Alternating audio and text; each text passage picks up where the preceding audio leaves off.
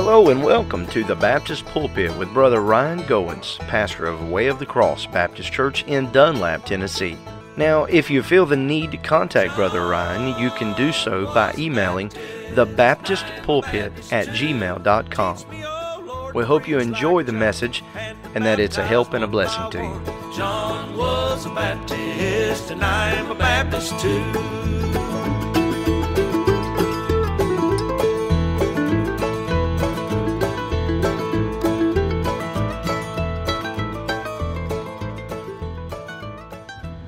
I appreciate you tuning in, and listening to the broadcast today.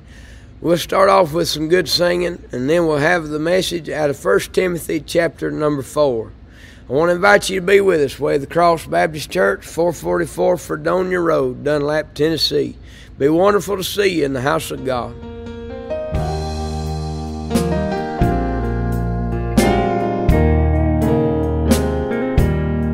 I can't take a heart that's broken, make it over again. But I know a man who can.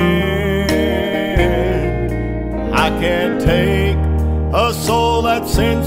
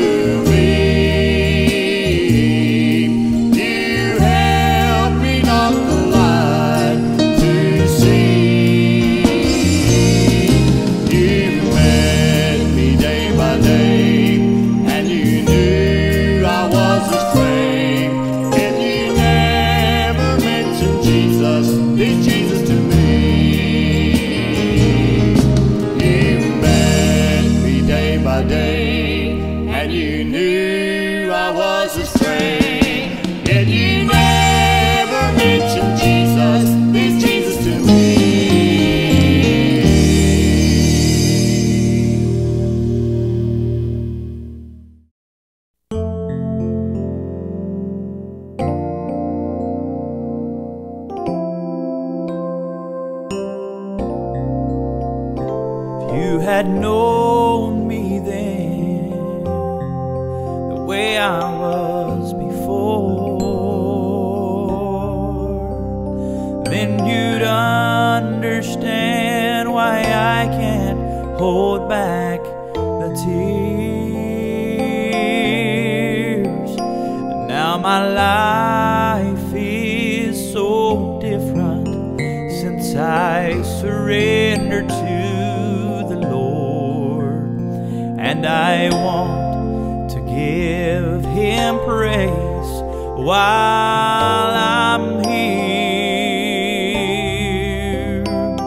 I stand before you knowing that it's only by His grace that I am just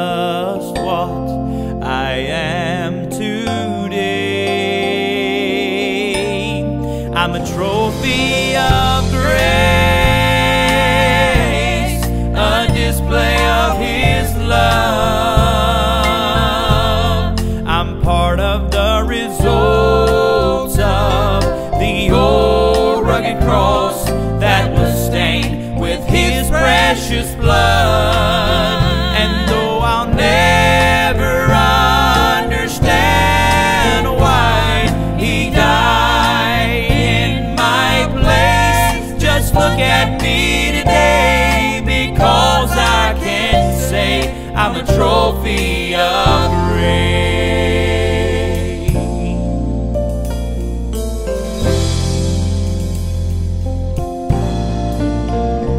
Oh, there is no way I can repay his love.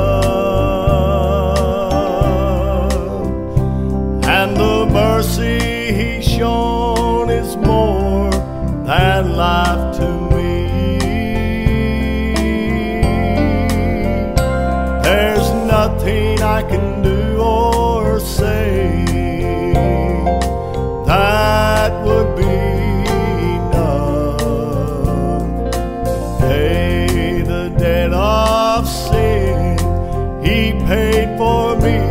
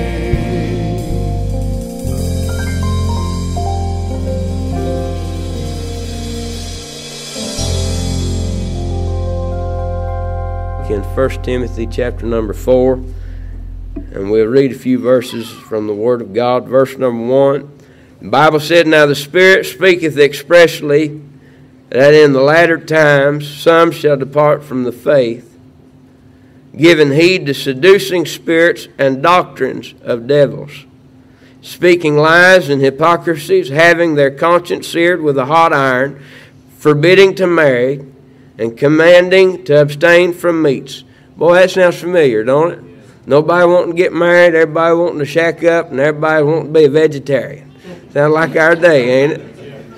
And it says doctrines of devils, speaking lies and hypocrisy, having their conscience seared, nothing bothers nobody no more. Everybody's lying, doesn't bother none. Forbidden to marry, commanding to abstain from meats which God hath created to be received with thanksgivings of them which believe and know the truth.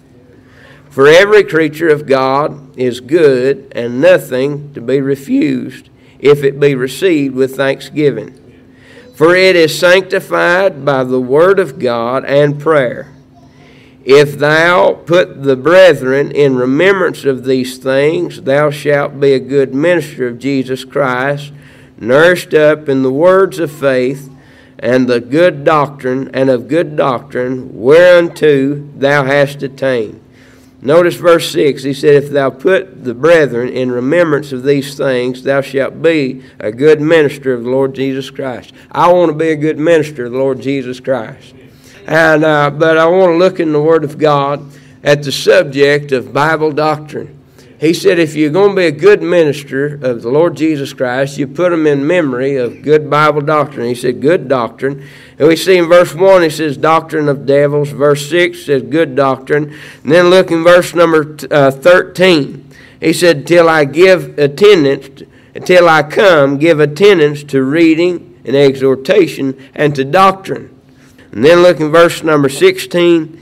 Take heed unto thyself and unto doctrine Continue in them, for in doing this thou shalt both save thyself and them that hear thee. Let's pray. Dear Heavenly Father, I thank you for your blessings on us. I thank you for your goodness and your mercy. Lord, I pray that you help me, Lord, give me wisdom, direction. God, I pray that you give me liberty and understanding to preach what you'd have me to preach.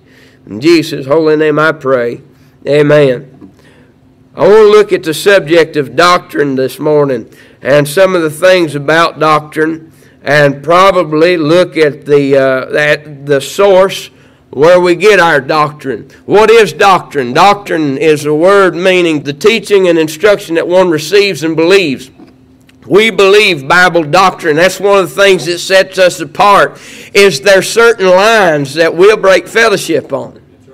I mean, I preach anywhere I'm asked to, Brother Dustin. If the Pope called me and asked me to come and preach, I would preach if it would not bring shame to the church. I'd go and I'd preach. I mean, I'll, I'll preach to drunks, I'll preach to harlots, I'll preach to anybody. But to fellowship and to walk with, I will break fellowship over certain doctrines. Brother Tom was talking this morning about the doctrine of eternal security. I've had to break fellowship over that point of doctrine. I don't mean necessarily that I'm mean or not nice, but there's certain things that I cannot yoke up with over that doctrine. I can't join arms and arms with somebody for a certain cause because of that doctrine. The Scripture, we have certain doctrine about the Scripture, and we make our stand on the Scripture, and we use the King James Version Bible. We use the King James as our uh, translation of the Holy Scriptures. We believe it was inspired to those that wrote the Word of of God and preserved by those that translated the King James Version. We hold to the Scriptures, and I have parted with men over that doctrine. I've been criticized over this a little bit, Brother Gene, but I have been criticized over parting over certain doctrine concerning music standards. I'll be honest with you, it's, it's, it's bothering me a lot lately. It's bothering me a lot lately, Brother Mark, that I'll go into other churches that are, they say they're of like faith. They've got the same Bible I've got. They preach the same message I preach. And I'll go in there and they'll start to play and they'll start to sing. And you can't tell the difference in what they're singing and what's on the radio. You can't tell any, di- there's no different sounds. All the music sounds exactly the same. And Brother Brother Dustin, they don't they ain't even no melody. If it was played on the piano, there's no melody to the song whatsoever. And if it's played on the piano, I could not tell you what the name of the song was because it's just a bunch of jumbled up mess with a few words, and they'll say, say Jesus every now and then, and they'll call it a gospel song. It bothers my heart, and I know I know that there's certain uh, convictions that I have that not everybody here has. I've got convictions in my own home. My wife's got certain convictions. There's some convictions that I have that she don't have, and that she has that I don't have, and that's from God. But I'm talking about Bible doctrine. There's some areas, and doctrine is something that separates us, or is supposed to separate us. Here's something else that I'm seeing, Brother Kevin, that's troubling me. It seems like a bunch of these little groups that for years have been separated. For years they have been separated and they've walked in their own way and in their own lane and they've done what they felt was best as they read the Word of God. Now it seems like if you just look at the news today and look around a little bit, seems like they're all running right back to the Catholic Church. Say, that's crazy. What are you talking about? The Methodists are running back to the Catholic Church. Of course, they didn't get too far away from it. The, uh, the uh, Presbyterians are running back to the Catholic Church. The Southern Baptists are now starting to run back to the Catholic Church. And I understand that Protestants. I understand that. I've studied history. I can see it. I know that. Uh, but it seems like there's a lot of so called good Baptist church that are starting to run back to the Catholic Church. They're starting to yoke up together. Why? Because they've chunked all doctrine. And they said that uh, Brother Sightler, uh, Brother Sightler, you know, on that message, he, he, mentions this. He said he saw a church sign that said this, and we're we're starting to see it more prevalent in the day we're living in. But he said he saw a church sign that said, "Doctrines divide, but love unites." Well, I do understand we're to love our brother and our sister, but there, if something is not right, what does that make it? Wrong. If something is wrong, it is not right. If something's not true, it is a lie. And I must draw my line and I must make a stand on Bible doctrine. Now, there's points we can disagree on things. There's certain points I understand every scripture was written with an intention and an interpretation that's proper. But sometimes it takes you and I a little bit of time to understand what the proper interpretation of the scripture is. And I also understand as we study the Word of God, there are oftentimes many applications to the scripture where you can have an interpretation where this was written to the Jews, and it was, and this uh, uh, goes to this certain group of people, and it does, but I can apply it to my life and I can learn a lesson. All things were written for our learning that we might be what God would have us to be, but not everything was written to me and about me. And I, am not trying to teach Sunday school. I'm not, I, I'm trying to give you the burden that's on my heart. Doctrine is very important. That's why if you desire to join Way of the Cross Baptist Church, uh, there's two things that's going to happen. Number one, I'm going to give you a list of bylaws, and you're going to look over those things. And if you don't agree with all those things, you're welcome to come as long as you want to. As long as you won't be a problem, you won't be a hindrance or nothing, you can come as long as you want. But if you want to be a voting member of the Way of the Cross Baptist Church, you have to believe all those things. And if you change your belief, you're to come to me and or, or the trustees and say, Brother Ryan, uh, we love you in Christian love, but I've been studying, I've come to a different conclusion, and we'll part on good terms. And we'll say, We love you, brother. You come as often as you can, but you can't teach a lesson and you can't vote in the church because you don't believe what we believe. That's the first thing that's going to happen. Second thing's going to happen is we're going to meet back here in the back somewhere. I don't know if y'all done it like this all the time. It's just the way I know how to do it. But Brother Dustin, we'll go back here and back somewhere and we'll talk about it a little bit. And I'm going to ask you if you've been saved. And I'm going to ask you if you've been baptized. I'm going to ask you if you agree with our bylaws. I'm going to ask you what you do for a living. Say, what's the, what business does the pastor have knowing what I do for a living? Well, we don't want no bartender voting in the church. And second of all, you might be a brick mason. We might need some brick being laid. Might as well just use you somebody else. Amen. I mean, you might lay carpet, and well, I need to talk to you. We might have a plumber, and I need to know that stuff. Because we've got to agree. We've got to agree. Talking about Bible doctrine. I got my hands on my watch mixed up. I said, Good grief, I know that ain't right. Bible doctrine is important. Doctrine means instruction and teaching. Listen to a few things. I'm not trying to bore you, but listen to a few things. In 1 Timothy 1, verse 3, look what he says. He said, I beseech you thee to abide still at Ephesus when I went to Macedonia, that thou mightest charge some that teach, that they teach no other doctrine. So that tells me there is other doctrine. I would be a fool to think everybody believes just like I do.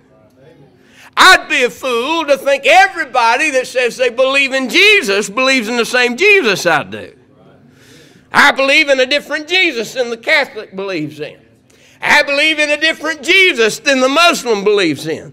I believe in a different Jesus than the Mormon believes in. I believe in a different Jesus than Jehovah's Witnesses believe in. And I cannot yoke up with all four of them groups just because they tell me that they believe there was a Jesus. Because they all believe in a different man. There are other beliefs. What are some of the other doctrines we find in Scripture? Well, in 1 Timothy 4 1, we saw doctrines of devils. There are teachings and there are, there are instructions that come straight from devils.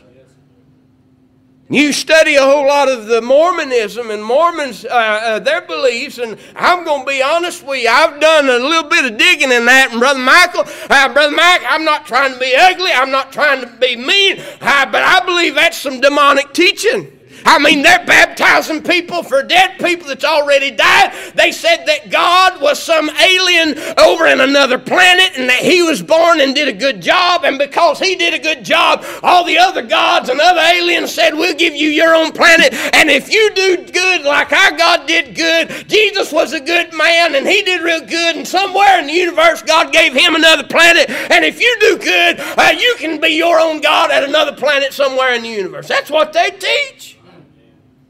That's what they teach.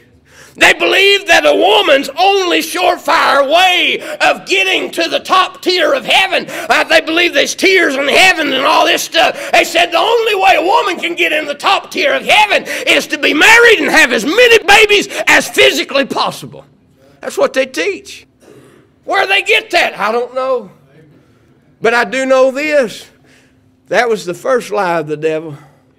He said, Don't you know God don't want you to be a God just like He is. The devil's always been tempting people that they can be their own God. Other gods, other, other Jesuses, other doctrines. There's the doctrines of devils. There's the wind of doctrine by the sleight of men. In Ephesians chapter number 4, verse 14, he talks about don't be driven away by every wind of doctrine, by the sleight of men. There's some people that I'll be honest with you, there's a lot of teachers that don't know their Bible. Not here. We got good teachers. God's really blessed us, but there's a lot of teachers that don't know their Bible. But there is some teachers that know their Bible so well and can use it to manipulate an individual to do what they want to do. That's the truth. I've talked to them and I've met them. We're talking about other doctrine, doctrines of devils, doctrine of the uh, wind of doctrine, a sleight of men. There's the doctrine of Balaam in Revelation chapter 2. There's the doctrine of the Nicolaitans in Revelation chapter number 2. There are other doctrines. But what does he say in 1 Timothy 1 verse 4? He talks about good doctrines that neither give heed to fables or endless genealogies uh, which minister questions rather than godly edifying that which is of, in the faith, uh, so do. There's good doctrine. Uh, verse number uh, 6 out of 1 Timothy chapter 4. He said, If by faith and of good doctrine. And then he tells us how that good doctrine, the doctrine can save thyself and them that ha- hear thee. Talking about doctrine, how important it is. I'm, I'm tired of people, and I'm not talking about people here. I, I'm just talking about people in general. I'm tired of people getting on to me for preaching God doctrine. I asked him, Brother Michael, he said, quit preaching so much Bible and so much doctrine. I said, what else is there to preach?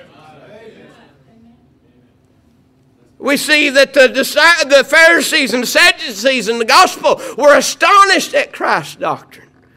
We see in Acts there's the apostles' doctrine. They made that doctrine that Jesus Christ preached and taught and made that teaching and that preaching their own. And that's what you and I are supposed to do. I have a doctrine. You have a doctrine where you have adopted somebody else's teaching. This, the, the Bible tells us that King Solomon, he said there's nothing new under the sun. Everybody's already had every thought that's ever going to be had. There's no new ideas, no new inventions. I bet we'd be amazed if we could see all of history. I, I, I could get in a big mess right there, but we just go on, Brother Dustin. Uh, everybody has learned something from somebody else. Everybody has been instructed by somebody else, and we adopt that doctrine and that teaching as our own. Good doctrine, it's amazing doctrine. The apostles' doctrine, sound doctrine, he says in 1 Timothy 1. And then in 2 John, he says it's Christ's doctrine, the doctrine of Jesus Christ. So doctrine does matter. And so for about 15 minutes, I want to start off by pointing where we get our doctrine from and deal with the doctrine of the Word of God. Well, I thank you for listening to the broadcast today. I pray it's been a help to you. Uh, we'll continue this message on next week, Lord willing. And until then, I want to invite you again to be with us. Way of the Cross Baptist Church, 444 Fredonia Road, Dunlap, Tennessee. Sure will be wonderful to be with you in the house of God. You've been listening to The Baptist Pulpit with Brother Ryan Goins, pastor of Way of the Cross Baptist Church in Dunlap, Tennessee. Feel free to email thebaptistpulpit at gmail.com. Oh, John was a Baptist.